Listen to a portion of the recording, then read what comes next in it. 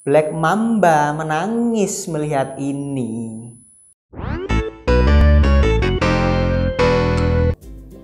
Halo teman-teman, balik lagi di channel Radit Ariki Pets, channel edukasi dunia binatang. Kali ini aku akan membahas seputar perbedaan ular berbisa dan ular tidak berbisa. Buat kalian yang pemula atau masih awam, disimak baik-baik ya. Sebenarnya udah banyak yang membahas di YouTube tentang perbedaan atau seputar ular berbisa dan tidak berbisa. Cuman ya aku bikin video ini untuk menambah wawasan dan referensi teman-teman semuanya ya. Tapi sebelum lanjut alangkah baiknya teman-teman subscribe dulu channel Radit Ariki Pets dan jangan lupa dinyalakan belnya biar bisa update terus video dari aku. Nah, siapa ini yang masih suka bingung ngasih jawaban? Kalau ada yang tanya, gimana sih cara membedakan ular berbisa dan tidak berbisa? Yang mana saya tahu, yang tidak tahu dari, tanya tanya saya. Dari kak. Jadi sampai detik ini, sampai pas video ini dibikin, ini masih banyak orang awam yang bingung banget cara membedakan ular berbisa jujur misal aku ditanyain perihal perbedaan ular berbisa dan nggak berbisa aku pun juga bingung gimana e, ngasih penjelasannya itu gimana bingung ada yang bilang perbedaannya ini dari bentuk kepala ada yang dari e, gerakannya dan ada yang bilang dari warnanya dari matanya dan lain-lain ya padahal itu sebenarnya itu nggak akurat semuanya ya teman-teman Oke, jadi daripada lama-lama langsung aja mari kita bahas satu persatu ya teman-teman. Kita godok satu persatu. Banyak banget yang mengatakan bahwa ular yang kepalanya segitiga itu berbisa. Iya, memang benar berbisa ya, tapi hanya berlaku untuk uh, kalangan ular-ular viper ya dari famili Viperidae ya. Apa kabar ular elapidae seperti ular kobra, ular weling, ular cabe, ular laut, dan lain-lain yang mereka ini berbisa tinggi tapi kepalanya lonjong, oval ya, jadi nggak segitiga ya. Jadi ya pernyataan bahwa ular yang e, kepalanya segitiga itu berbisa itu nggak akurat ya teman-teman. Aku nggak bilang salah, tapi nggak akurat 100%. Ada juga yang bilang uh, kalau ular yang memiliki heat pit atau lubang sensor panas di depan mulutnya itu pasti berbisa. Itu juga nggak akurat ya teman-teman karena ular-ular python yang nggak berbisa pun juga banyak yang memiliki lubang sensor panas untuk mendeteksi mangsanya. Dan ular kobra Jawa yang berbisa, contohnya ini ya, ini nggak memiliki lubang sensor panas. Jadi Ya sekali lagi ya teman-teman, ciri-ciri ular berbisa atau tidak berbisa itu kalau melihat dari kepala ular itu enggak akurat ya teman-teman. Membedakan tipe ular menurut bentuk mata ini sebenarnya enggak akurat juga ya teman-teman. Banyak orang yang bilang ular berbisa ini e, pupil matanya ini slit ya, maksudnya menyempit seperti mata kucing Sedangkan ular enggak berbisa ini pupilnya bulat. Itu amat sangat tidak akurat ya teman-teman. Kenapa mas kok enggak akurat? Karena ada ular yang tidak berbisa yang memiliki pupil uh, slit atau sempit itu tadi dan ada juga ular berbisa tinggi yang memiliki pupil bulat. Seperti contohnya sanca pohon atau green tree python mereka ini bukan ular berbisa, tapi memiliki mata yang uh, pupil mata yang sempit. Bahkan bisa sampai bentuk garis gitu ya, saking sempitnya ya. Kemudian king cobra, the longest venomous snake in the world.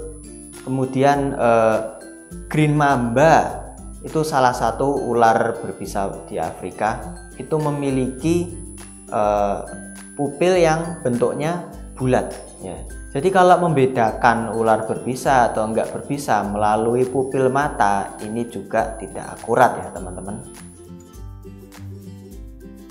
Banyak juga yang bilang kalau tergigit ular kemudian meninggalkan bekas e, dua titik itu jelas itu adalah ular berbisa ya. Namun kalau gigitannya itu meninggalkan bekas luka yang eh, nggak titik, jadi banyak bekas gigitan, banyak giginya itu, deretan gigi yang rapi itu, maka itu bukan ular berbisa. Itu benar teman-teman, tapi ya nggak terlalu akurat ya, karena ular ini memiliki tipe taring yang berbeda-beda. Ada yang tipe taringnya Aglipa, Opistoglipa, Proteroglipa, kemudian Solenoglipa. Yang biasa jadi patokan bekas dua titik gigitan itu adalah e, dari tipe Proteroglipa dan Solenoglipa yang dimiliki oleh ular-ular famili Elapidae dan Viperidae. Dan yang jadi patokan bekas gigitan yang rapi itu tadi adalah uh, ular dari jenis Aglipa dan Opistoglipa yang dimiliki oleh Python, Boa, Colubridae, Homalopsidae, kemudian Pareatidae dan lain-lain. Tetapi e, banyak juga ular dari jenis Colubridae dan Homalopsidae yang berbisa. Seperti contohnya bumsleng dari Afrika ya. Kemudian ular cincin mas atau Boiga dendropila, kemudian twig snake itu juga ular pucuk juga dari Afrika. Kemudian ada ular air kelabu atau Episcopus plumbea dan lain-lain ya.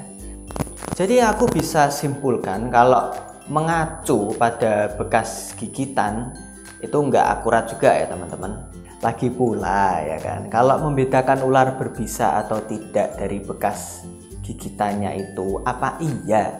Kita harus kegigit dulu baru uh, nentuin ini berbisa atau enggak ya. Apa gitu loh ya ya. Kalau berdasarkan hukum alam ya maka pola uh, serta warna mencolok dari ular ini juga dapat menggambarkan uh, tingkat bahayanya. Eits, tapi tunggu dulu ya teman-teman. Memang banyak ular yang berwarna mencolok itu berbahaya. Berbahaya bahkan berbisa ya teman-teman. Seperti contohnya coral snake. Tapi ada juga ular yang berwarna mencolok yang tidak berbisa. Contohnya milk snake.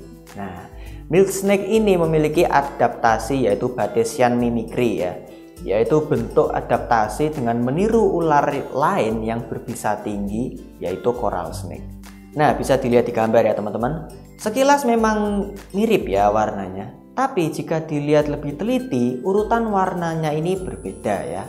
Urutan warna coral snake ini merah, kuning, hitam, sedangkan milk snake ini merah, hitam, kuning. Jadi enggak semua ular yang berwarna mencolok itu berbisa ya. Ya contohnya ya balik lagi ke kobra. Kobra warnanya cuman hitam doang juga berbisa tinggi kan. Sebenarnya semua ular itu sama aja ya teman-teman Asalkan kita eh, nggak mengusik atau mengganggu ular Ya ular itu nggak akan agresif ke kita ya teman-teman Ular ini akan agresif ya atau menyerang kita apabila terpojok Atau ya mereka merasa terancam oleh kehadiran kita Aku baca di sebuah situs merdeka.com. Di situ dikatakan bahwa ular yang tenang dan gerakannya lambat ini justru memiliki bisa yang tinggi. Enggak semua ular yang gerakannya lambat itu berbisa tinggi ya teman-teman. Contohnya pipe snake ya atau ular karung ya. Atau enggak usah jauh-jauh lah, ball python aja ya.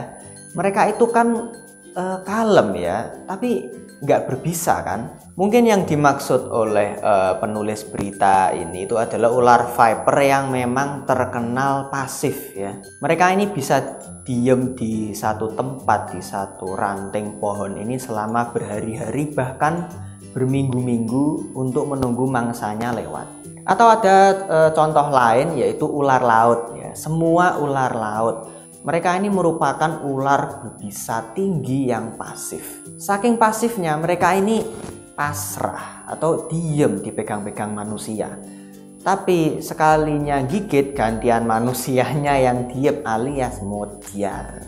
Dan di situs tadi itu juga dikatakan ular agresif atau yang gerakannya cepat justru cenderung tidak berbisa. Black Mamba menangis melihat ini. Bagi teman-teman yang belum tahu subkaudal itu adalah sisik yang e, bentuknya membesar yang terletak di bagian bawah ekor ular ya. Letaknya ini di belakangnya kloaka ular ya. Ada yang bilang umumnya ular yang tidak berbisa ini memiliki dua baris sisik subkaudal, sementara ular yang berbisa hanya memiliki satu baris sisik subkaudal. Tapi seperti yang sering aku katakan sebelum-sebelumnya ya teman-teman, ini tidak akurat ya karena satu contoh aja ya king cobra ini memiliki dua baris sisik subkaudal dan dia berbisa tinggi lagi pula ya kan eh, nggak uh, mungkin kan misal ketemu ular bukannya kita lari menghindar tapi malah dilihat es hole-nya ini, ini ular berbisa atau enggak kan ya? Nggak mungkin tuh ya gimana? Banyak yang bilang aktivitas ular tidak berbisa ini biasanya di siang hari ya atau diurnal ya. Itu lagi-lagi juga tidak akurat ya teman-teman. Karena king cobra ini mereka biasanya berburu ular sebagai makanan utama mereka ini di siang hari ya. Mungkin yang dimaksud oleh penulis ini berdasarkan pada kebiasaan ular welang dan ular weling. Mereka ini berbisa tinggi dan aktif di malam hari. Tetapi ya emang kebiasaan ular beda-beda ya teman-teman. Tidak semua ular yang berbisa itu nokturnal dan tidak semua ular yang tidak berbisa itu diurnal. Contohnya ya tadi ya, king cobra. Mereka biasa mencari makan di siang hari. King cobra berbisa tinggi ya teman-teman. Kemudian dragon snake, Xenodermus javanicus. Mereka ini tidak berbisa sama sekali dan aktif keluar di malam hari ya. Jadi kalau misal ada orang yang bilang ular tidak berbisa biasanya aktif di siang hari, itu nggak akurat ya teman-teman Nah kalau ini bisa dibilang 98% benar ya teman-teman Kenapa mas? Karena ular berbisa ini tidak perlu membelit untuk membunuh mangsanya Karena dengan satu gigitan saja mangsa akan tergeletak tak berdaya Sementara untuk ular yang tidak berbisa cenderung membelit mangsanya agar e, mangsanya kehabisan napas dan mati. Tetapi ya balik lagi teman-teman, tingkatan bisa ular itu bermacam-macam. Selain berbisa tinggi, ada berbisa menengah dan berbisa rendah.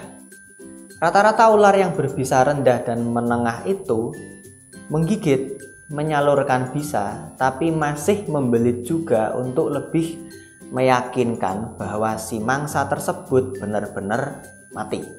Dan tidak semua ular yang tidak berbisa itu membelit.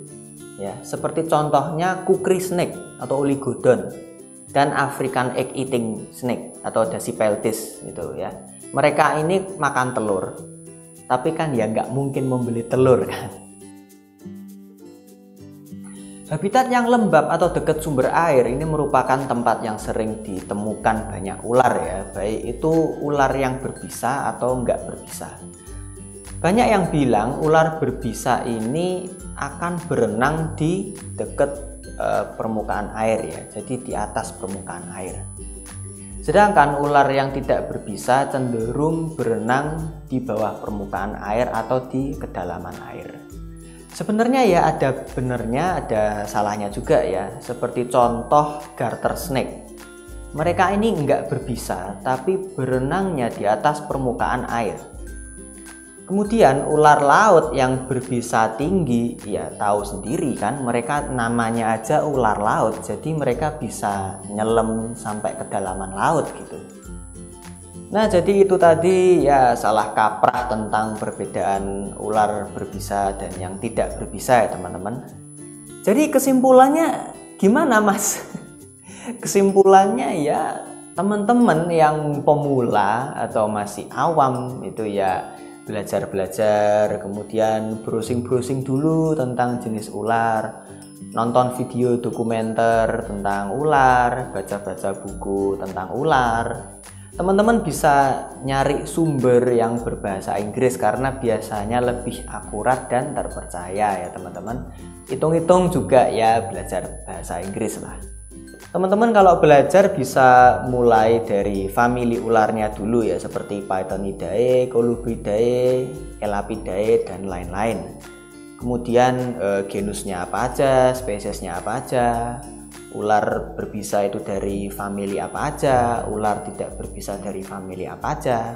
Ya, yang penting sih eh, niat belajar tentang dunia ular ya teman-teman. Oke, jadi mungkin sekian aja video dari aku. Jangan lupa tetap support channelku biar channelku bisa makin berkembang ya. Sampai jumpa di videoku berikutnya. Bye bye.